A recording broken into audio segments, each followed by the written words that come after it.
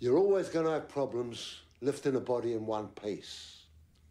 Apparently, the best thing to do is cut up a corpse into six pieces and pile it all together. Then I hear the best thing to do is feed them to pigs. You've got to starve the pigs for a few days. You've got to shave the heads of your victims and pull the teeth out for the sake of the piggish digestion. You could do this afterwards, of course, but you don't want to go sieving through pig shit now, do you?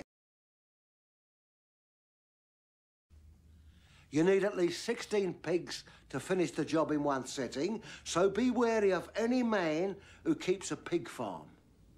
They will go through a body that weighs 200 pounds in about eight minutes. That means that a single pig can consume two pounds of uncooked flesh every minute.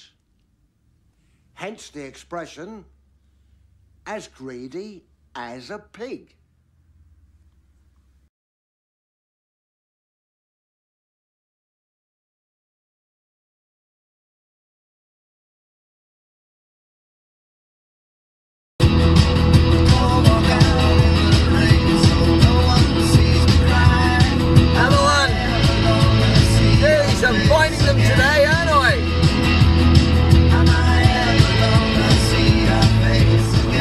Here we have Road Pirate number 66.